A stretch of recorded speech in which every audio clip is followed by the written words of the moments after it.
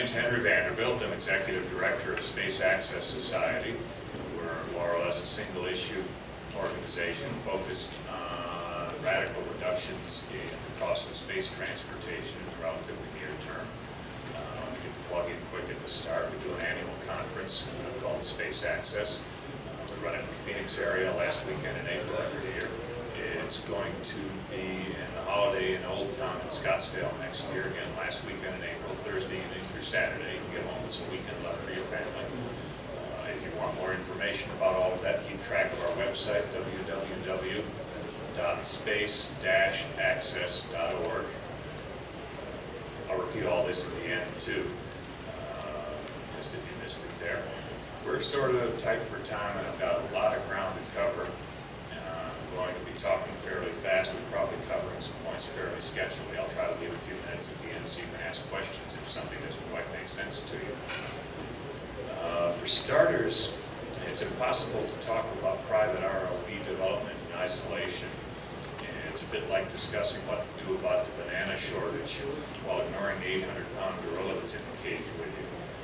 Um, we've got to pay attention to the government, and for the moment, uh, the government in this instance is NASA because under this administration, for better or worse, NASA has sole development within the government, sole responsibility with the government for RLV development.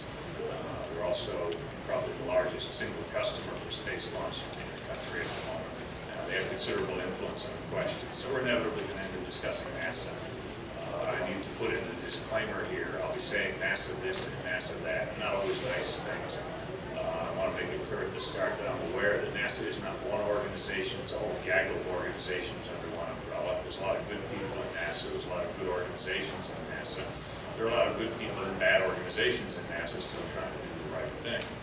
Uh, the problem is that the, uh, NASA as a whole doesn't always necessarily push in the most useful direction for our interests. Buzz Aldrin was referring to this yesterday. When he said something to the effect that he was having a hard time getting money out of NASA to advance in the direction of lots of people, lots of ordinary people going into space as opposed to the, the, the same few people going into space. There's a specific context for that. We'll get to that later. Anyway, there are a couple of misapprehensions running around that I clear up at the start. You know, someone asked me yesterday, did our conference last month conclude that private reusable launch development is now impossible? there was a little bit of gloom at our conference. Um, basically, what we concluded was what we've been trying so far, uh, getting private development money for reusable launch based on the existing provable satellite market, uh, as, as Mitch Clapp put it, competing head-to-head with Delta, uh, that that hadn't worked so far. Uh, the definition of sanity is when you've been trying something and it doesn't work, you've tried it again often enough to be sure it doesn't work, you should go and try something else The conclusion we pretty much came to at the conference is we need to go and try uh, various something else's. I'll get back to all of those in a little bit. Uh, another misapprehension, and I'm afraid uh, I agree with Buzz Aldrin in the big picture that we need to get to a place where ordinary people can travel into space affordably, and that NASA currently is not interested in supporting that. It simply isn't something that isn't their job If you look at their formal charter, it's not their job. Buzz, unfortunately, had something to say about VentureStar and X-33 pretty much proving that single-stage to orbit is impractical, if not impossible. Afraid we were on record early on saying that that was a distinct possibility that people would be saying that the program went the way we thought. Uh, let me digress a bit. How many people here flew out here? Uh, packed luggage, you, you you've been through airports before, you don't like lugging 800 pounds, you discovered that, you know, that, that, you really have to simplify and get on and off an airplane without breaking your back or losing bags. Uh, keeping it simple is the essence to keep the weight down. You bring along a kitchen sink and the off chance the hotel won't have a sink, you assume there'll be one there. Well, in building an SSTO, uh, you need to keep it simple to keep the weight down. The basic physics of it, of course, you're all familiar with hydrogen fuel. About seven-eighths of your takeoff mass is going to be propellant. One-eighth is structure, engines, payload, everything else. Um, I'll admit the various existing proofs that rockets can be built that light. Just state that you do have to keep it simple to build it that light and rugged enough, rugged enough to be reusable often enough to make commercial sense.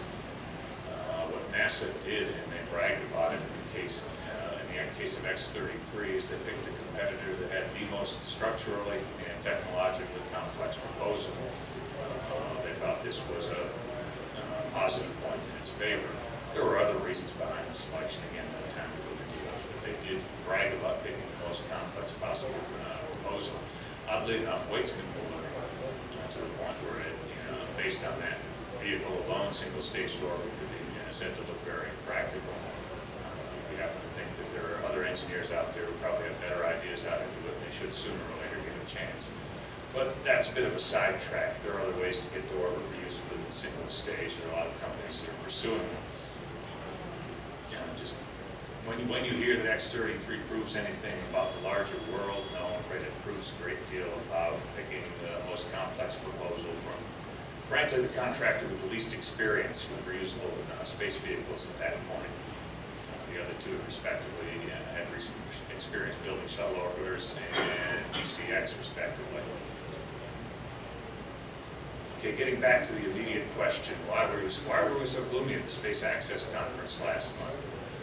Fact is that the various startups, Pioneer and Rotary and Kelly and USL, are all having problems finding private investment.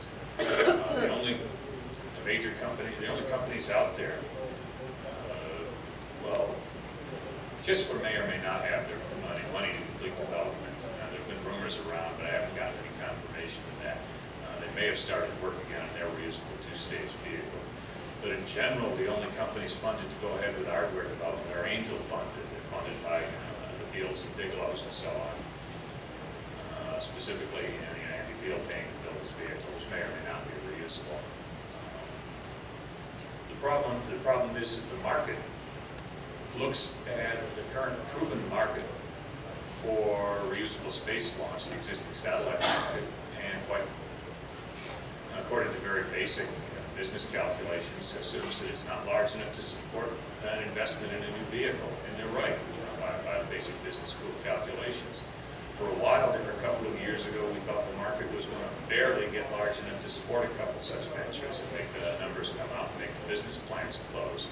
Uh, that was when all the big low Earth orbit uh, communications constellations were planned. Uh, Teledesic was going to have 800 satellites, and Iridium was going to prove to everybody that the concept worked. Well, it turned out that Iridium was a turkey. Uh, and that, uh, that concept, they, they omitted a basic fact, uh, basic feature of a communication system that's going to make money in the long run. They omitted the ability to compete on volume as prices come down. Their floor price turned out to be about a buck fifty a minute, absolute minimum. That's not even paying back investors. That's just ongoing maintenance costs. And their ability to increase traffic turned out not to be very large. And Iridium went belly up, and investors concluded that there was no market. These things go in cycles. One of the one of the other companies trying to do that sort of thing will succeed at some point. Investors will come back, but for the moment, you cannot make the case on a, on a sensible business basis that the traditional market will support a reusable launch vehicle development.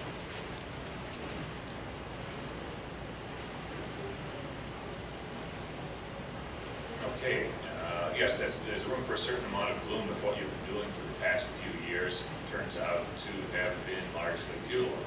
Uh, the design work that's gone into these vehicles as a fuel is still quite useful.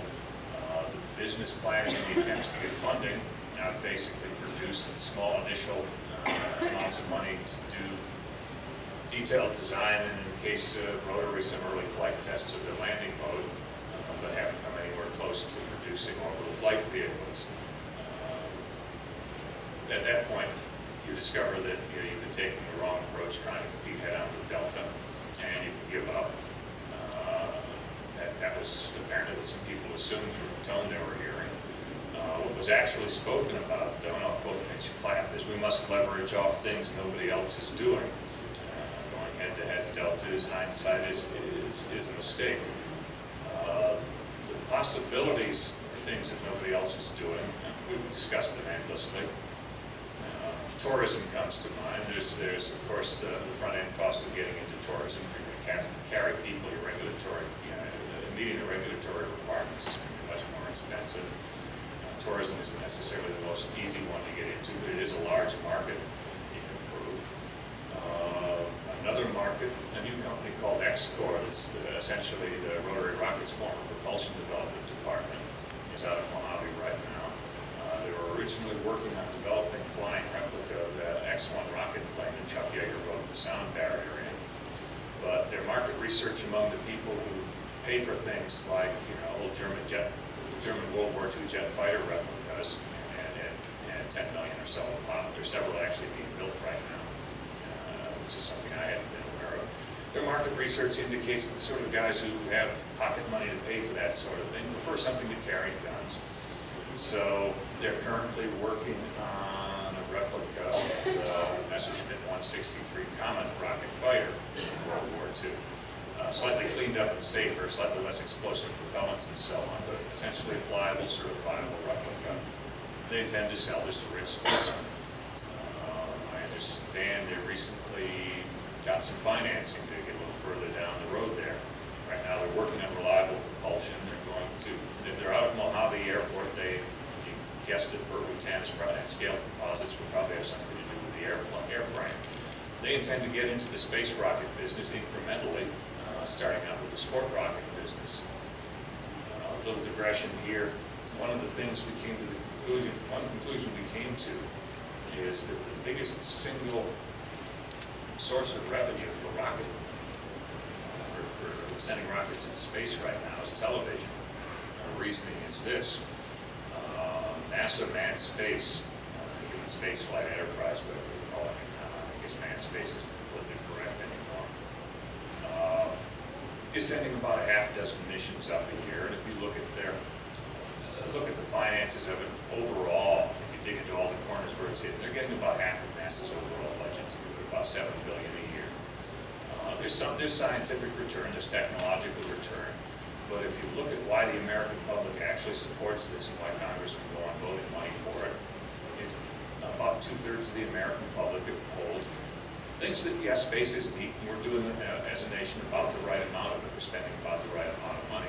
Mind, most of these people have no idea how much money we are spending, or what we're spending it on, but they end up seeing on the evening news once a month or so that we're doing something neat in space, and they feel good about it, and it would probably be annoyed if their congressman voted to stop, you know, doing those things they see on the evening news. So the basic business NASA is in is producing neat TV footage that has us feel good as a nation. Uh, I- Their, secondary business is essentially white-collar workfare in a number of key congressional districts in the country and, and a number of key overseas nations where they want to keep people from going to work in the third world building missiles. And we're all aware of that, fact is they're producing entertainment. Uh, This suggests a number of possibilities for private companies to compete, because frankly, you can probably produce really good entertainment of people going into space and doing interesting things for less than seven billion a year. Uh, we- We haven't developed, nobody's, nobody that I know of has developed this theme beyond that, but we only came up with it about a month ago, so it's food for thought. Okay, where am I in my notes here?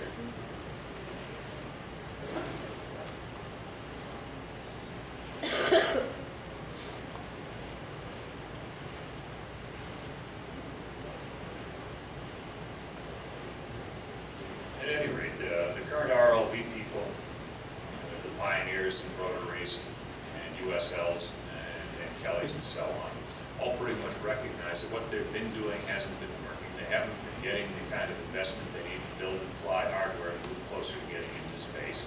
Uh, they're trying various different approaches. Uh, I'll give you a quick rundown of of my impressions of what they're up to. Uh, Kistler, as I mentioned, and I've heard rumors, we've been hearing for the last year or two of various uh, overseas parties willing to put up part of the money they need to complete the development.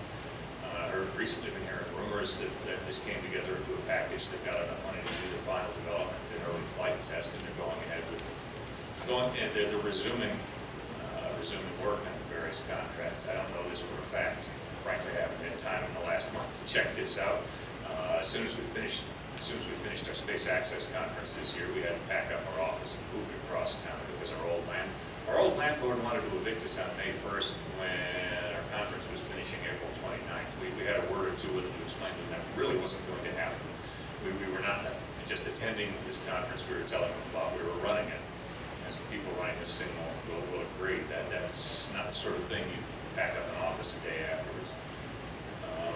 Anyway, the other the other companies, Pioneer, as far as we know, doesn't it doesn't have money to do significant hardware work. They're continuing to uh, refine their design and detail, and are getting to the point where it looks it's starting to look fairly solid. They're starting to get down to a lot of uh, minor aerodynamic details of various uh, aspects of their flight. Rotary, of course, did their flight tests last uh, summer and fall, uh, essentially low altitude landing mode tests.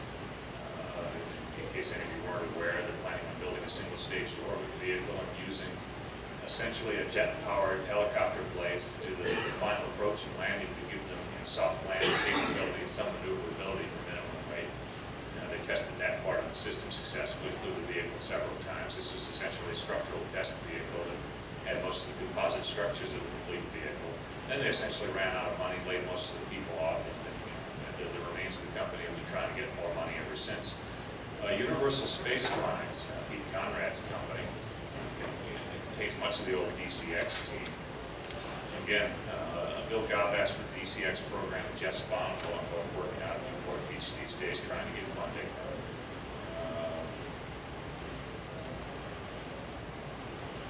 Uh, Kelly and Space Access LLC are taking a slightly different approach. They're actually they're, they're successfully pursuing modest amounts of NASA study money. This may or may not be a good tack in the long run. Uh, the downside of that is, is that it teaches them how to be a NASA contractor. The upside of that is it keeps the doors open until they can of something else.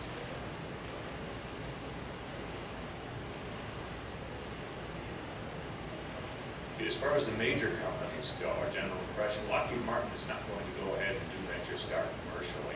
X-33 seems to have enough technical problems that it seems unlikely on that basis. As Buzz Aldrin pointed out yesterday, the main reason the program hasn't been canceled so far is that the gentleman who stood on the stage while it was being announced in 1996 is running for president this fall. So it's very unlikely to be canceled before the election after the election is anybody's guess. That at that point, it depends on how much the company wants to save face or continue to uh, uh, buy time as a distraction. Uh, in terms of Venture Star as a generic name for some sort of reusable space transport, Lockheed Martin is still very unlikely to do it on their own dime, because as, as it repeatedly said, uh, they have to pay something on the order of 20%. They would have to pay something on the order of 20% interest to borrow the money to do it. The credit rating isn't that good at this point. The company has, has been in a bit of disarray. Uh, Boeing is in a position to do it on their own dime. You know, Lockheed Martin has been pursuing the Breaux bill to get, essentially get government money to do it. Uh, Boeing is against the Breaux bill because they could technically do it on their own dime because they can borrow money at 7% because they're in much better shape. Uh, they don't particularly want to do it because why compete with themselves? They already have an existing space launch business that's bringing in multiple billions per year in cash flow. Uh, why do something very risky that would in essence compete with an existing business line of theirs that brings in billions of cash flow? Uh, this is a classic dilemma in transportation technological revolutions, by the way. Uh, the existing players almost never come out on top after a transportation technology revolution. If you look at, say, a sail to steam and ships or or steam to diesel and locomotives, the old top players are seldom the new top players because the old top players tend to stick with their existing investment far too long. Uh, be that as it may, Boeing has no reason to upset the status quo until somebody else comes along and threatens it.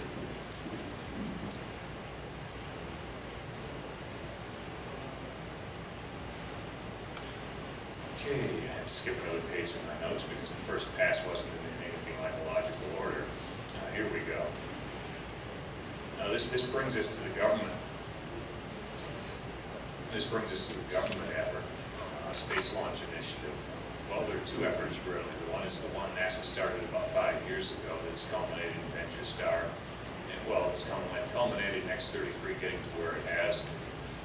And some minor projects like X-34 and X-37. I'm going to concentrate on X-33. Uh, The general consensus seems to be that it's unlikely to fly, and if it does fly, it's unlikely to fly well. Has dropped off. It's very unlikely to make the speed targets and make it to the Montana landing site they want. It's going to end up being single stage to Utah.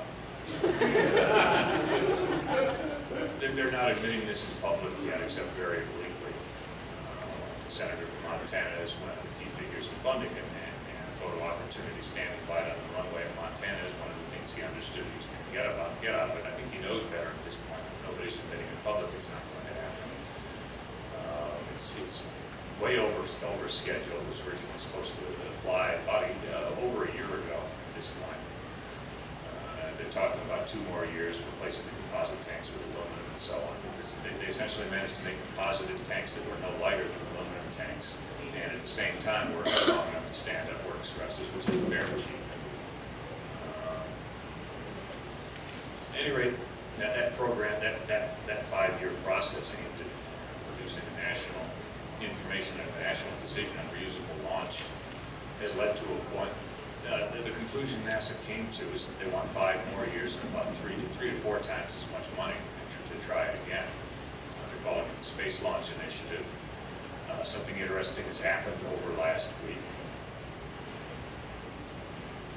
NASA this spring put out something called NRA 8-27, which is a solicitation for research proposals. They scrounged up about 17 million in research contract money for this fiscal year uh, to get companies started on studying space launch initiative approach, uh, which in general is to try to converge commercial and government requirements into a single program would satisfy both NASA and U.S. commercial launch interests.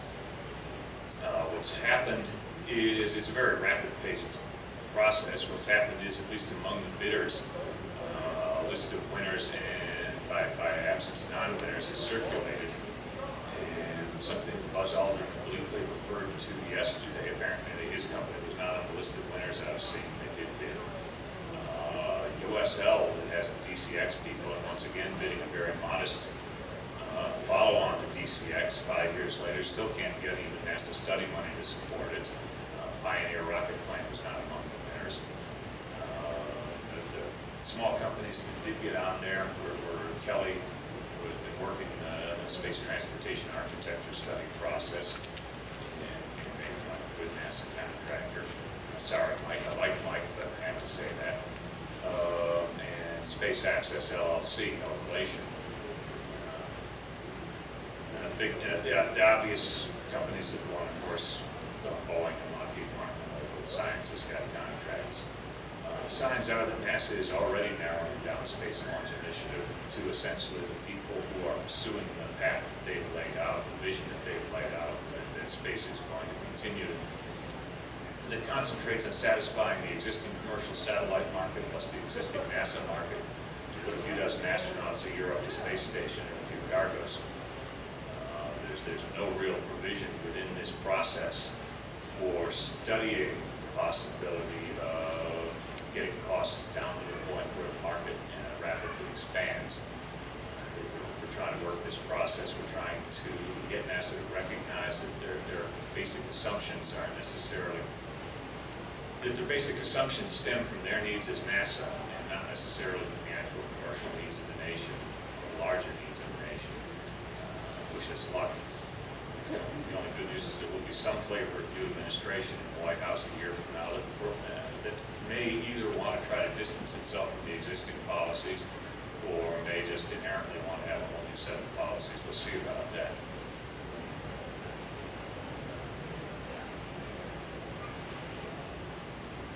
Uh, One thing we've been proposing, uh, we, we mentioned uh, trying to, trying to talk about this without, try to talk about uh, commercial space without talking about NASA, is like trying to talk about bananas while ignoring the Asian on gorilla in the room. A quick word about the NASA decision-making process, uh, the internal consensus process NASA tends to go through before they arrive at policies that affect the whole agency. Uh, The best shorthand we've come up for this is about a thousand pounds of apes in a cage trying to decide where that bunch of bananas goes. Um, The only, the only problem is one of those apes weighs five hundred pounds. The whole human space flight enterprise is about half of NASA. Has a significant political constituency, uh, has a, has a significant, represents a significant congressional delegation.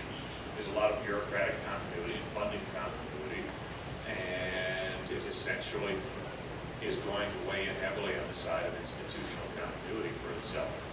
Uh, any decision made NASA-wide about the future uh, reusable space launch is going to be significantly affected by the needs of this community.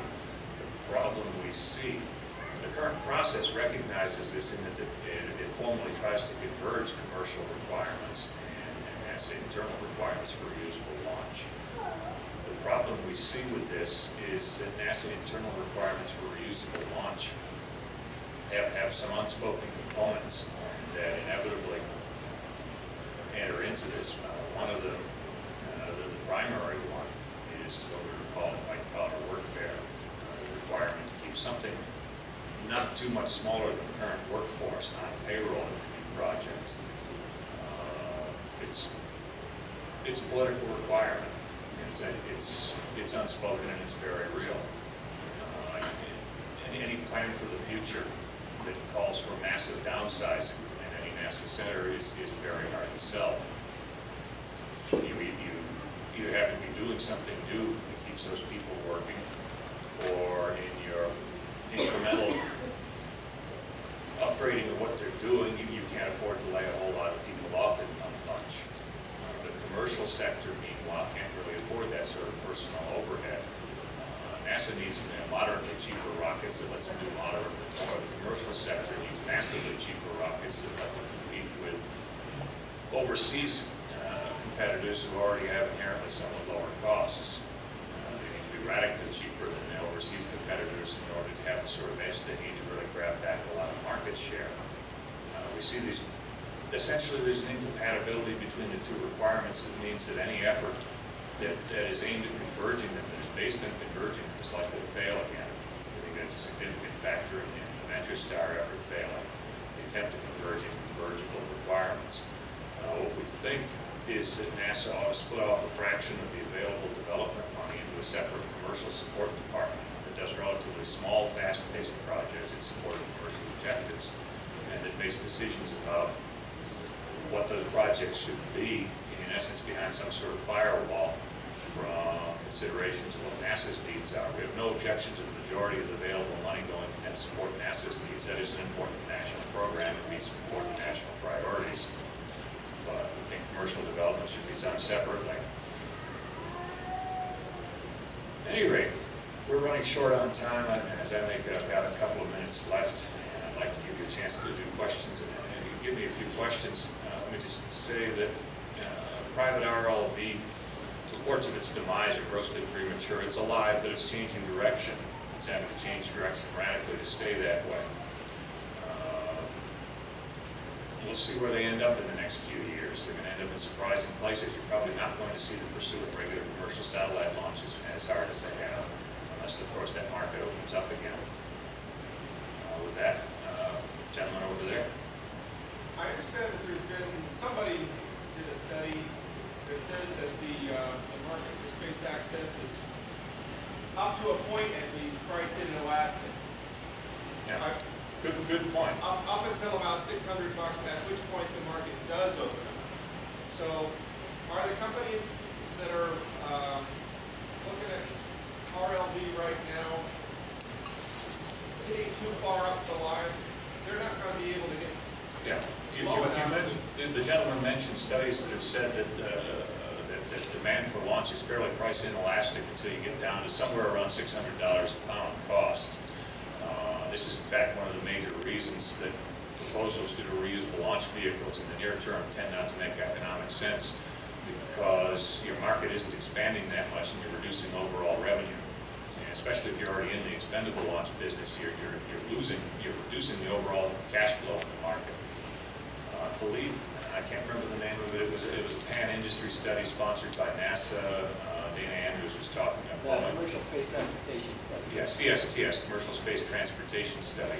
Essentially, you have to get below oh, somewhere around $600 a pound before you really start seeing new applications come in and expanding the market.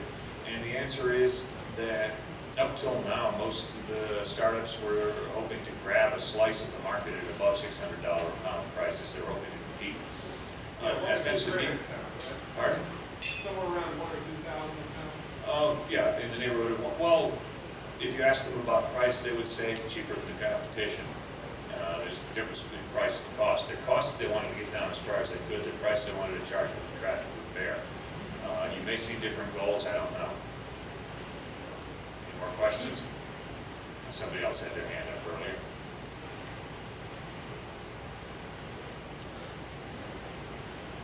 How's Beal heard testing the second station, but I haven't been following Beal that closely. Uh, They're the outfit that wants to build a multi-stage, pressure-fed, uh, close to a classic big dumb booster. It uses composite tanks, uh, pressure-fed, hydrogen peroxide and kerosene fueled. I believe they're going for a three-stage, fairly low-efficiency motors. They've tested their second-stage motor recently, which is quite a large affair. Uh, As far as I know, the tests were successful. There were some stories that the performance might be a bit less than they hoped for. There might be some tinkering to do. Uh, I don't know a great deal more about where they are right now. I do know that FMC Corporation is now willing to ship uh, industrial size lots of high concentration peroxide. I suspect largely because Beal has been the launch customer for the, them getting their facilities up and running. So those of you who are, want to run your own liquid fuel rockets on on peroxide can now get 90% plus strength industrially instead of having to distill your own.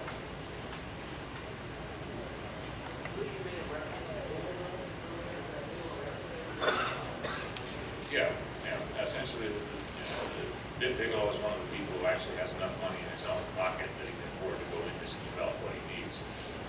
Uh, I believe he's currently look- working on on winter tourism, and there's a conference coming up in July out there on on largely on that. I don't know a great deal of the details, because it's a little bit outside my direct area of expertise. But he is definitely a case of a man who's got his own money and isn't too worried about commercial, commercial, commercial market conditions. He's going doing what he thinks needs, ought to be done. Any other questions? Okay, let me get in one more plug here. Uh, We're Space Access Society. Our website is www.space-access.org. Uh, We think that radically cheaper space transportation is a key prerequisite to just about all of the interesting things that are- are discussing wanting to do around here. And we run our annual conference in Phoenix area in last weekend in April each year. Next one is Space Access 01 in Scottsdale, Arizona at the Holiday Inn Old Town, starting Thursday night, uh, April 26th, and ending Saturday night, April 28th next year. Uh, To see some of you there. It's a very concentrated, single-track, two and a fraction day look at the current state of the industry. By a year from now, we're expecting to see some interesting changes. Thank you all for coming. Um, I'm only three minutes over my allotted time, so I'll quit while I'm not too far behind. And I want to thank Tom Jacobs and everybody who helped organize this. Oh, got one more question here. Uh, The website is www.space-access.org. Space-access.org. And it hasn't been updated since before our conference because we've been moving our office and getting ready for this conference. That'll be something new up there by the end of next week. And the little, uh, the little dash or the longer one down below. No, it's, it's, it's the height, the little dash. Okay, thank you all very much for coming, and I will turn the microphone back to our host here. Thank you very much. We're going to have a 10, 15 minute break here,